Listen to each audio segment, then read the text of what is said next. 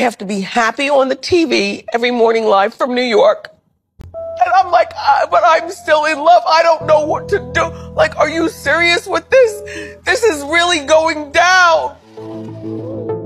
I am divorced from the situation. You will not get away with trying to pull off having two families